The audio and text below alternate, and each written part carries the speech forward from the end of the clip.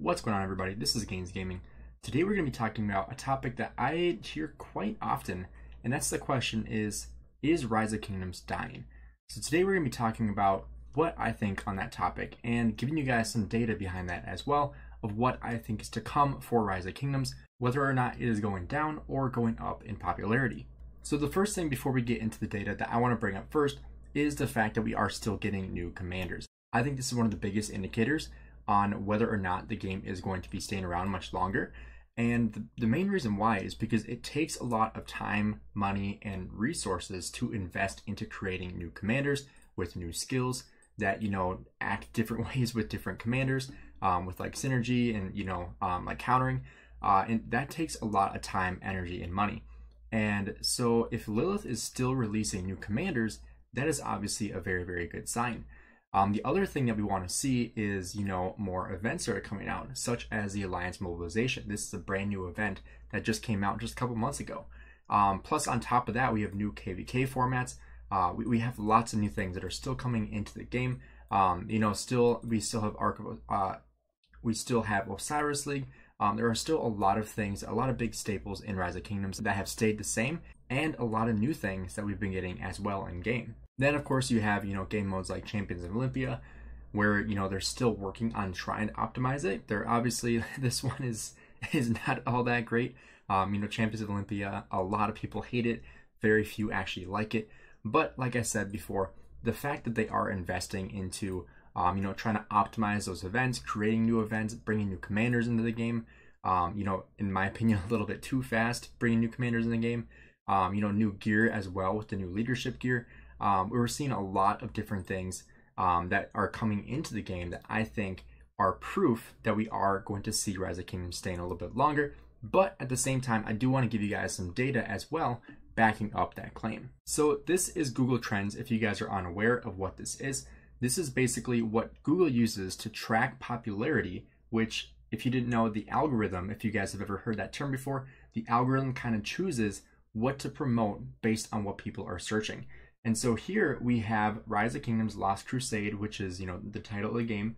Um, we're looking at the popularity in the last five years worldwide. And that's important because we don't want to, you know, single out any countries. We also want to make sure we get a full picture of, you know, when it first came out, which is just a little over five years ago, to now in 2023.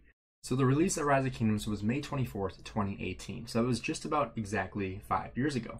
So if we take a look at this chart, you can see the interest over time and we're going to bring this up to 2020. And so you can see right here, as we keep on scrolling on this map, we can see that we have August 5th is when this starts because, you know, it's exactly five years ago. Um, and the time of this recording is July 30th. And so we're going back about five years. And Rise of Kingdoms was first created back right before this chart starts. So obviously the popularity isn't super popular, but you can see right around March 10th to March 16th is really when Rise of Kingdoms started to pick up. You can see the interest spiking over those little areas. And, you know, obviously during COVID, we saw the biggest increase, which would have been right about here, which is actually exactly when I started playing, was right before COVID. Um, so you can see this little jump right here. I literally started playing like the week or two weeks before COVID started. Um, probably like right about here is when I started. Um, and then COVID hit, and obviously the popularity boomed a little bit. Um, and so you have this peak here, and then obviously like when things shut down, um, people have more time to play video games. You know, they're, they're locked inside. They're they're not going to work. Um, so you have this big boom in Rise of Kingdoms popularity of people searching Rise of Kingdoms on the web. You can see it is a web search that we are looking at right now. You can also go by a YouTube search, uh, news search, but we're going off of web search um, just because that's going to be the most popular uh, not so much searching on YouTube. Um, that would be something that'd be interesting for YouTubers if you are interested in making Rise of Kingdoms content. That would be something you should be looking into is whether or not it is popular on YouTube. But this is just on web search because if people are searching on the web, they're probably trying to download the game. So that's why we have it on this map here. And then as we keep on going through this list, you can see it kind of stagnates here. And we get all the way to 2021 and it's still kind of just in the same area here. Um, so, you know, we're not going down horribly, but we do kind of bottom out here, similar to where we were right before COVID. And obviously, we still have some of these big jumps here as well. but these are probably you know just like patch notes or little updates that are coming into the game and you know it, it's you know comes right back down kind of gets back to the homeostasis back to the baseline but then we have a big update and i believe this was the viking civilization the partnership with vikings which was super super popular and you can see that by this chart this exploded up just at the time of the vikings release so this was in the beginning of 2022 you can see January 23rd to 29th is when we hit the peak at on this chart, which is uh, 100% interest over time. You can see with interest over time, we have that numbers represent search interest relative to the highest point on a chart given the time and the region. Value of 100 is the peak popularity for the term. A value of 50 means the term is half as popular. A score of zero means there is not enough data for this term. So you can see right here is when we get the peak of the Vikings. And then we kind of come right back down. But as we keep on going through this chart, you can see as we get all the way to where we are currently in 2023, we still haven't gotten back to this baseline here, which really means that, you know, Rise of Kingdoms is continuing to stay more popular than it was during COVID, um, which I think is a lot of people would agree with me is that it, it was the hottest time for video games because people were home, they weren't, you know, going to work, um, you know, because they were working from home, so they were able to play video games a lot more. Now everybody's back at work. People, I mean, some people are still working from home. Um, some people have, you know, like part-time jobs from home, that kind of stuff. But a lot of people are back in the office. They're back at their jobs, um, you know, working full time, so they don't have enough time for video games or as much time for video games. But we still see the popularity is still spiked up from our baseline, which we see right here in early 2020 and also in all of 2021. We really didn't see any uptick uh, in 2021 at all. But then in 2022, with that release with the Vikings, a partnership really boomed the popularity of Rise of Kingdoms, and that really hasn't gone away. And you can see these little spikes here correlate with new commanders being released into the game. And I believe this is why we are seeing such a rampant amount of commanders being released in the game because they see how much this is improving the analytics behind you know interest over time. Uh, and so the more commanders they're releasing, the more interest they get in the video game. So you have a lot of pros and a lot of cons with this. We'll jump right back into the game here so we can take a look at this. But basically what we want to talk about is the fact that I don't think they're going to slow down with commanders. And that really changes the way that we should be prioritizing our accounts. Because if you go based off how commanders used to come into the game, which was, you know, every three to four to five months or so, you had enough time to expertise commanders and then start saving up for future commanders. So for example, I have 759 gold heads right now, so I have enough to expertise a legendary commander right away, but if a new commander gets released then a month or two later, I won't have enough for that commander. And so yes, that does drive more people to spend if you are a spender in the game, but with new commanders like Hugh and with Justinian coming into the game, people want to use these commanders because they are the new, the best commanders in the game. But with new players, you also want to have enough commanders where they can, you know, have some flexibility with what they want to invest into. Um, and also open up more players to use these commanders earlier on, which is what we see in KVK 3 now. Um, so you can see you can actually use these commanders in KVK 3 as of right now because they're allowing people to use these commanders sooner. Because when you have these new commanders coming into the game, you have these new advertisements, and they're not as cringy as they used to be. The new advertisements are actually really, really solid. Um, you know, really cool animations and um, not really gameplay, but kind of just really cool animations with the new commanders. And releasing new commanders allows them to continue those projects.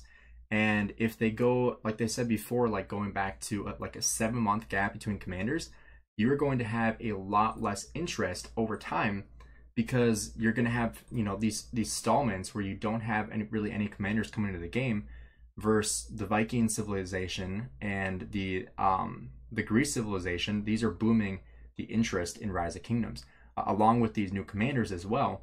That definitely goes a long way with increasing the popularity, thus bringing in more money for Rise of Kingdoms. But I think what this really tells us is that Rise of Kingdoms is not dying. And if it was, we would be able to see on this chart, we would um, be, either be back to baseline or be below baseline. And considering we are not really even near it, um, you know, we're, we're still above 50% of the highest peak uh, versus here, we were roughly at about 30% of the peak. And, you know, now we're 20% above that, which is quite a bit. Um, and so with, with that being said, I don't think that we are going to see Rise of Kingdoms dying anytime soon. And one really cool thing that we can see with Google Trends as well is we can actually see regions where it is most popular. Um, and we can see with the regions, you can see that Vietnam, Singapore, the Philippines, Burma, and Malaysia are actually the most popular searchers during this five year period time.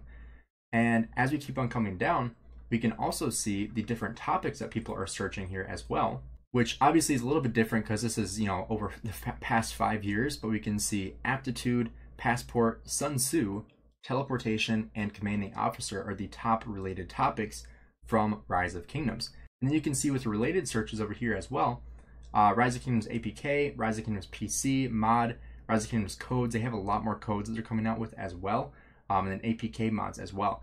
So a lot more interest in Rise of Kingdoms over this period of time, which is definitely a really, really good sign for the game. And I think, especially for people that are, you know, potentially wanting to make content on this, the fact that they are also starting to allow more people to potentially become monetized on YouTube for Rise of Kingdoms and in terms of sponsorships. Uh, you know, they did open up the creator program, which I am a part of right now as an apprentice creator. Hopefully, being able to get promoted into that, uh, into that next tier to, you know, potentially become officially sponsored. But you can see here with YouTube as well, um, more people are searching it than ever before. And once again, this was with the Viking civilization but we still are well above that baseline where we were in 2021 and even before COVID.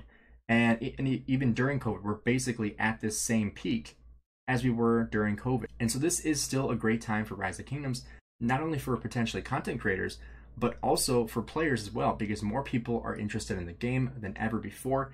People are still playing the game. You don't have a big decrease in the amount of players. Obviously, we do have people that are quitting, um, you know, like big name people that are quitting, but that doesn't mean the game is dying. And so that I wanted to make this video to really showcase not only my thoughts with commanders, but also the actual empirical data as well, because this is really what matters. This is what Lilith is looking at when they are looking at games, because they're a business. They're there to make money. If they're not making money on a video game, they're going to stop investing into it. They're not going to be creating new commanders every couple months. They're going to be stopping. They're going to stop putting money into the game they're going to quit making new stuff. They're going to keep everything the same, just try to draw as much money as possible with as little amount of input as possible with their, their own money. Um, and we are not seeing that from Lilith. We are seeing a lot more involvement from Lilith, a lot more new things in the game, and a lot of optimizations as well. So I think these are all really, really good things for the game. And like I said before, I don't think Rise of Kingdoms is dying. I think it is growing even faster than before. Um, and you know the analytics and the data prove that. And I think that this is really something that a lot of people really have a lot of trouble coming to terms with. Uh, because you know they might be sick of the game, but that doesn't mean that the game is dying. You know, um, you know, not everybody is going to love the game long term. You know, some people don't play video games all the time. They don't want to play a game for years and years and years. Other people like the grind aspect of Rise of Kingdoms. Personally, that's what I love about it. On top of that, the community is just really, really great. But if you guys enjoyed this video, please drop a like and subscribe. Let me know in the comments below what you guys think about the future of Rise of Kingdoms. Thanks for checking out the video. See you guys later.